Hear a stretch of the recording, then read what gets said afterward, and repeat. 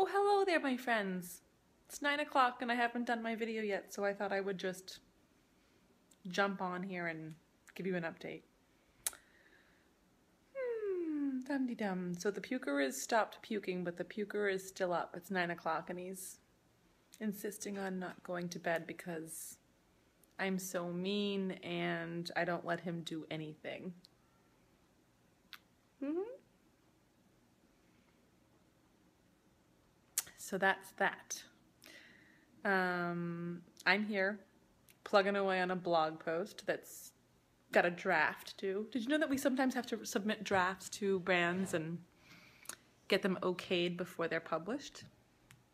Maybe you didn't know that. Mm -hmm. So anyway, I'm working on that.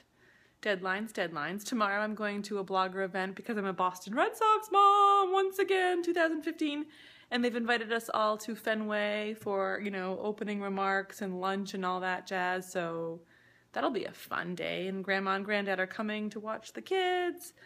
And I get to go to a blogger event.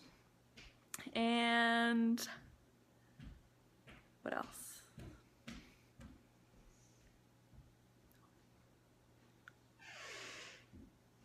Good night, Aiden. I love you.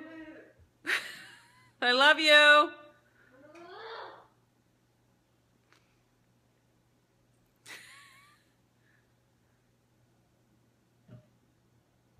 He's breathing in and out like a dragon. That means he's really mad.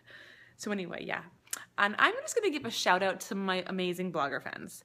Um, so Mom's Favorite Stuff, Family Travel Magazine. If you don't read those two blogs, my friend Jody, she's a great friend. And I just wanted to give her a shout out because she's great. Thank you for being a friend, Jody. Um, kimworld.com another amazing friend. Thank you for being always there, always to listen, always to give advice, always, always, always the most helpful person ever. Um, Dollops of Diane. I mean, come on now. You know, the two of us are like Foxborough glue. So, Dollops of Diane. Um, the Vintage Mom, right? My newest friend. Thank you, Lauren, for coming into my life and being awesome and always supporting me and being there and helping me and giving me tips and making me push myself and all of that stuff. And I'm happy I met you and our kids are friends and all of that. It's lovely. Um, yeah. So it's nice to have friends, right? I love you, friends. Okay, I gotta go finish things up and get ready for tomorrow. Subscribe!